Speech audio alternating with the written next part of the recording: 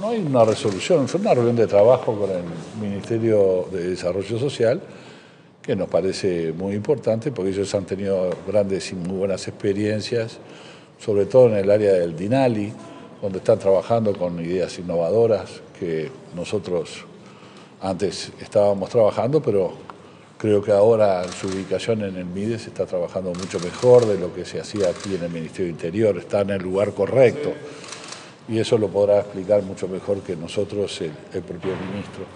Y también estuvimos hablando de cuál era nuestra idea en materia de prevención de homicidios. ¿Cuál es?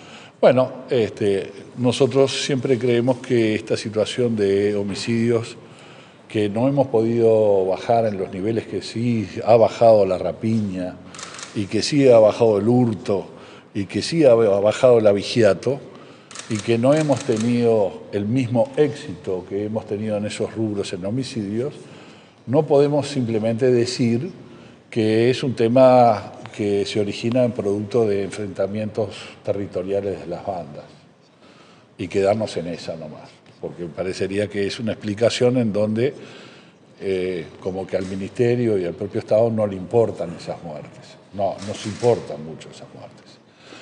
Y en ese sentido estamos trabajando con un préstamo del BID en donde queremos hacer algo más. No cruzamos de brazos, no estamos cruzados de brazos frente a ese homicidio que se da en zonas muy puntuales de Montevideo, muy concretas, en barrios, sobre todo aquí en Montevideo, en proporciones muy importantes, pero donde tenemos que hacer algo más. Y eso es una idea que venimos trabajando que se la estuvimos informando al ministro de Desarrollo Social y a todo su equipo, pero mejor que yo lo explicará el señor Diego Sanjurjo que está acá Perdón, con antes nosotros. de hablar con Sanjurjo, ¿el, préstamo del BID ya está aprobado? ¿De cuánto No, no, es? nosotros este, el préstamo eh, del BID es como de 10 millones de dólares y pretendemos dedicar 2 millones 300 mil. Tiene sus trámites internos. Este, nosotros, nosotros, de nuestro lado, tiene que ir al BID y tiene sus trámites y su burocracia internacional.